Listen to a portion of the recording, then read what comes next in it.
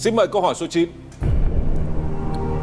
Quân bài ca tép trong bộ bài Tây Tú Lơ Khơ tượng trưng cho nhân vật nào? Vua Charlemagne, Julius Caesar, Alexander Đại Đế hay là vua David? Mời em. để mà biết được ca tép là tượng trưng nhân vật nào thì cũng cũng không phải ai cũng biết được Công nhận. Ờ, cũng không để ý mình- đến cái kiến thức này Ừ, anh em mình đánh tá lả mà cầm ca tép lên thì nhanh nhanh chóng chóng là nếu không À. có cạ thì đánh luôn thôi nhưng còn ít khi để ý xem là ông này là ông vua nào. vâng Nhưng đây đúng là ờ, quân bài, quân ca đều là là king mà, viết tắt của king. Vâng, đúng rồi. Nên là toàn công vua. bây giờ để nhớ được con ca tép như nào cũng hơi khó Vâng. Ờ, xin sự trợ giúp ờ, gọi điện thoại cho người thân ạ Gọi điện thoại cho người thân. Bạn sẽ gọi điện cho ai?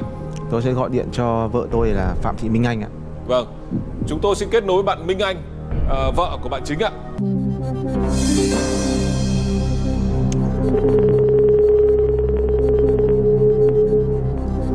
Dạ alo ạ. Xin chào bạn Minh Anh ạ. Dạ em chào anh. Ờ, xin chào bạn, tôi là Dũng ờ, đang gọi cho bạn ở chương trình Ai là triệu phú ạ. Vâng, à, em chào anh Dũng và các anh chị tại trường quay ạ. Vâng. Tôi đang ngồi với chồng của bạn, bạn chính. Dạ vâng ạ. Bạn chính đang gặp khó khăn và quyết định là nhớ đến người vợ của mình. Bạn sẵn sàng chưa? Dạ em sẵn sàng ạ. Vâng ạ, người chơi và người hỗ trợ qua điện thoại sẽ có 30 giây để vừa hỏi vừa trả lời. 30 giây, bắt đầu. quân bài ca tép tượng trưng cho nhân vật nào Quân bài ca kết. tượng trưng cho nhân vật nào Ca viết như nào anh? ca xong rồi tép thôi Tép. t e p Alexander Đại Đế. Rồi. Đúng không anh?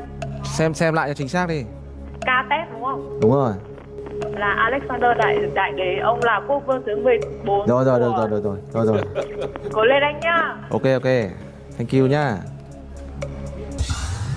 Vâng. Có vẻ khá rõ ràng. Vâng. Ờ, sau khi nhận trợ giúp của vợ tôi thì tôi xin chọn phương án C là phương án cuối cùng. Phương án C. Ờ, trước khi đi ờ, hai vợ chồng có thỏa hiệp với nhau về việc là nếu cô ấy sai thì cô ấy có phải đền tiền cho bạn hay là nếu bạn đúng thì bạn có phải trả công cho bạn hay không? Chắc là phần thưởng này thì về chắc là đưa hết luôn. Đấy. Vâng, không cần thôi mình cũng chả nghĩ làm gì đúng Vâng, không cần nghĩ nhiều đâu. cả là 2 triệu hay là Vâng. về 250 triệu thì vẫn phải đưa hết thôi. Vâng.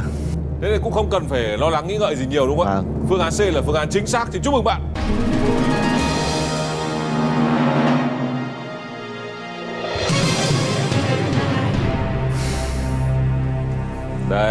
Cái này là anh em mình chơi bài lâu năm nhưng mà chưa để ý này. Vâng. Các quân bài Di Quy Ca trong bộ bài Tây đều tượng trưng cho một nhân vật có thật trong lịch sử. Vâng. Hình ảnh trong quân bài ca tép hay là trong tiếng miền Nam là gọi là con chuồn đấy, Vâng. ca chuồn đấy. Thì là chính là Alexander Đại Đế như là vợ bạn đã Vâng. đã từng nói và ông là quốc quốc vương của vương quốc Macedonia.